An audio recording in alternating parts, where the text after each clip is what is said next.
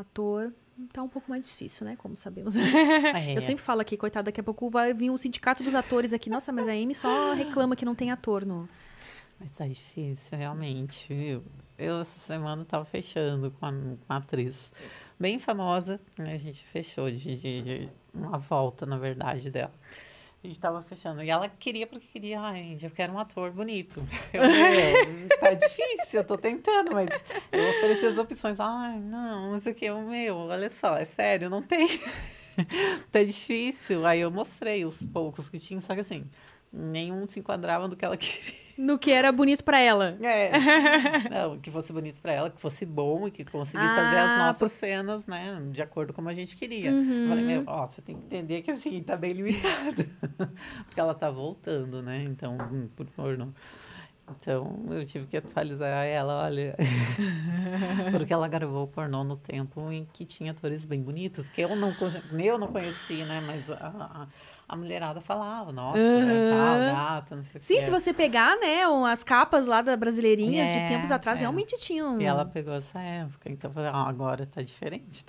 Por que, que será que isso mudou? Será que é por causa dos cachês que não são mais lá essas coisas? O que você acha que aconteceu? Que, tipo assim, antes tinham uns caras bonitões, assim, e tal, e hoje em dia tá sempre... Então, eu não sei se tem relação com o cachê, porque eu não, eu não sei em relação ao cachê de ator o quanto mudou. né? É, sempre Então, foi se- menor, né? É, se foi alguma mudança tão significativa assim, né? Que a ponto de mudar a beleza dos atores. Não sei se foi algo desse tipo. Ou de repente também, acho que as atrizes também mudaram um pouco, né? Talvez isso, não sei. É. Talvez uma coisa vai levando a outra, né? Uhum. Pode ser isso. Você chegou a fazer quadros na, na TV também, não fez? Uhum. Sim, isso. Conta um pouco sobre a sua experiência na TV, como é que foi? Como é que chegou o convite? Foi antes de você entrar pro pornô? Não, foi depois. Foi depois? depois. Foi, hum, na verdade, assim, tudo.